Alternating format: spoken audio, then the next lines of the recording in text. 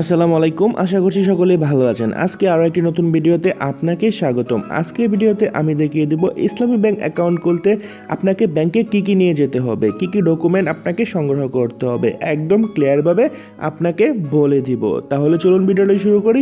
ভিডিওটি শুরু করার আগে একটি রিকোয়েস্ট করব, যদি এখন পর্যন্ত আমার এই চ্যানেলটি সাবস্ক্রাইব না করা হয়ে থাকে, তাহলে অবশ্যই আমার চ্যানেলটি সাবস্ক্রাইব করবেন। এই ভিডিও সম্পর্কে কোনো রকম অভিযোগ থাকলে বা কোনো রকম মন্তব্য থাকলে চ্যানেল প্রোফাইলে আমার নাম্বার দেওয়া আছে, আমাকে ফোন দিবেন। আপনাকে আমি একটি রিকোয়েস্ট করব, আপনাকে ভিডিওটি ধৈর্য সহকারে দেখতে হবে। আপনি যদি টেনে দেখেন, তাহলে কিন্তু কিছুই বুঝবেন না। কারণ ইসলাম ব্যাংক অ্যাকাউন্ট খুলতে কিন্তু একটু সমস্যা হয়ে যায়। কি সমস্যা হয়ে যায়, তা আজকে ভিডিওতে বলে দিব। ইদানিং ইসলামী ব্যাংক অ্যাকাউন্ট খোলার জন্য মানুষে এত তো কথা বলতেছে, ভাই, আমি ইসলাম ব্যাংক অ্যাকাউন্ট করব ইসলাম ব্যাংক অ্যাকাউন্ট করব একটা ভিডিও দেন, কী কী লাগবে, কী কী লাগবে। তার জন্য এই ভিডিওটি তৈরি করা। তাহলে চলুন ভিডিওটি শুরু করা যায় ইসলামী ব্যাংকের অ্যাকাউন্ট করলে কি কি লাগবে? তার মধ্যে এক নাম্বার হচ্ছে যার নামে অ্যাকাউন্ট খোলা হবে, তার এনআইডি কার্ডটা লাগবে। তার যদি পাসপোর্ট কার্ড থাকে তাহলে হবে, তার যদি ড্রাইভিং লাইসেন্স থাকে তাহলেও কিন্তু হবে। এক কথায়, আপনার যা আছে তা ফটোকপি করে সঙ্গে নিয়ে ইসলামী ব্যাংকে আসবেন। তবে এনআইডি কার্ডটা সবাই দেয়, তাই এনআইডি কার্ডটাই আপনি কি করবেন? সংগ্রহ করবেন। তো আপনার এক নম্বরে এনআইডি কার্ডটা আমি বলে দিলাম। তারপরে কি লাগবে? তাও এখন আমি বলে দিব।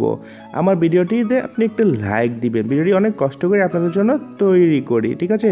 তো ভিডিওটি শুধু আপনাদের জন্যই আমি তৈরি করলাম। তো এনআইডি কার্ডটা গেল এক নাম্বার। এখন দুই নাম্বারে কি লাগবে? তা এখন বলে দেব। দুই নম্বরে লাগবে পাসপোর্ট সাইজের দুই কপি ছবি লাগবে। সদ্য তোলা, আপনার পাসপোর্ট সাইজের দুই কপি ছবি লাগবে বা সংগ্রহ করতে হবে আপনাকে। ঠিক আছে? পুরনো ছবি দিলে হবে না। সদ্য তোলা, আপনার দুই কপি পাসপোর্ট সাইজের ছবি কি সংগ্রহ করতে হবে বা লাগবে? তো আপনি কি করবেন? এক নম্বর এনআইডি কার্ডটা সংগ্রহ করবেন। দুই নম্বরে পাসপোর্ট সাইজের দুই কপি ছবি সংগ্রহ করবেন। আপনি যদি অ্যাকাউন্ট খুলতে চান, তাহলে কিন্তু আমি দুইটি স্টেপ বলে দিলাম দুটি ধাপ বলে দিলাম। তারপরে কি লাগবে? তা এখন বলে দিব।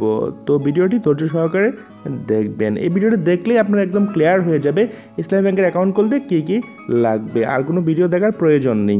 তিন নাম্বার কি লাগবে? ভোটার আইডি কার্ড না থাকলে জন্ম নিবন্ধন আনবেন। তবে জন্ম নিবন্ধন দিয়ে খুলতে অনেক কষ্ট হবে। আপনার যদি ভোটার আইডি কার্ড না থাকে ড্রাইভিং লাইসেন্স না থাকে, যদি তাহলে কি করবেন? আপনাকে জন্ম নিবন্ধন সাথে নিয়ে আসবেন। তবে জন্ম নিবন্ধন দিয়ে আপনার অ্যাকাউন্টটা করতে একটু কষ্ট হবে। কারণ কি হবে? জন্ম নিবন্ধনটা আপনাকে যে, আপনার এলাকার চেয়ারম্যান দিয়ে বা মেয়র দিয়ে সিগনেচার করাতে হবে। এটা কিন্তু একটু ঝামেলা। তবে এনআইডি কার্ড দিয়ে করলে কিন্তু অনেক ইজিলি খোলা যায় তার জন্য আমি বলব এনআইডি কার্ড দিয়েই আপনি অ্যাকাউন্টটা খুলবেন। যারা ভাবছেন জন্ম নিবন্ধন দিয়ে আপনি অ্যাকাউন্ট খুলতে চান, তারা একটু কষ্ট করে আগে ব্যাংকে যোগাযোগ করবেন। ব্যাংকের পরামর্শ যেভাবে দেয়, সেভাবে আপনি কাজটা করবেন। আশা করি বুঝতে পারছেন। এখন আপনাকে যে স্টেপটা বলে দেবো, সেটা মনোযোগ সহকারে আপনাকে বুঝতে হবে।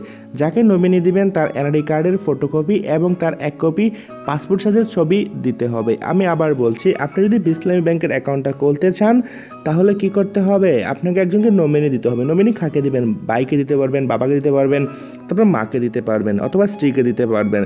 যাকে নমিনি দিবেন, তার এনআইডি কার্ডের এনআইডি কার্ডের এক কপি ফটোকপি দিবেন। তার যদি এনআইডি কার্ড না থাকে, তাহলে তার পাসপোর্ট থাকলে পাসপোর্ট পাসপোর্টের ফটোকপি দিবেন। আর যদি ড্রাইভিং লাইসেন্স থাকে তাহলে ড্রাইভিং লাইসেন্সের ফটোকপি দিবেন। ঠিক আছে? তিনটার যে কোনো একটা ফটোকপি দিলেই হলো। তারপর তার এক কপি পাসপোর্ট ছবি দিতে হবে। তার সদ্য তোলা এক কপি পাসপোর্ট সাইজের ছবি আপনাকে সংগ্রহ করে এখানে জমা দিতে হবে। এটা হলো চার নাম্বার স্টেপ আপনারা এই স্টেপটা আপনাকে পূরণ করতেই হবে। কারণ নমিনি একজনকে আপনাকে দিতেই হবে। আপনি ইচ্ছা মতো নমিনি দিবেন।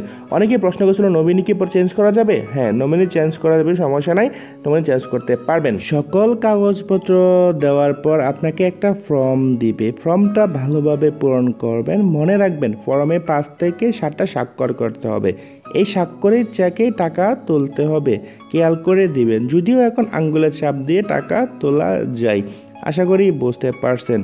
আপনি যখন সকল কাগজপত্র দিবেন, তখন আপনাকে কি করবে? আপনাকে একটা ফর্ম দিবে। অনেক বড় একটা ফর্ম দিবে। এই ফর্মটা আপনাকে ভালোভাবে ফিল আপ করতে হবে। আপনি যদি শিক্ষিত হয়ে থাকেন, লেখাপড়া জানেন, তাহলে আপনি নিজেই করতে পারবেন। আর যদি না জানেন, তাহলে ইসলামী ব্যাংকের অফিসে যে কোনো একজনকে আপনি বলবেন। তাহলে তারা করে দিবে। আশা করি বুঝতে পারছেন। অর্থাৎ আপনার ফর্মটা ভালোভাবে পূরণ করতে হবে, পূরণ করে জমা দিতে হবে। আপনার স্টেপ শেষ, ঠিক আছে? আর আপনি যে নাম্বারটা দিবেন, এই নাম্বারটা কিন্তু আপনার জেনুইন নাম্বারটা দিবেন। আপনার সাথে সাথে এই নাম্বারটা রাখতে হবে। কারণ আপনার ব্যালেন্সে যদি টাকা আসলে আসলে নাম্বারে চলে আসবে এবং যখন টাকা তুলবেন আঙ্গুলের ছাপ দিয়ে, তখন এই নাম্বারে কিন্তু একটা কোড যাবে। তো নাম্বারটা কিন্তু খুবই ইম্পর্টেন্ট তো বন্ধুগণ, আশা করি ভিডিওটি ভালো লেগেছে। যদি ভালো লাগে থাকে, আমার চ্যানেলটি সাবস্ক্রাইব করবেন। এই ভিডিও সম্পর্কে প্রশ্ন থাকলে চ্যানেল নাম্বার আছে, আমাকে কল দিবেন।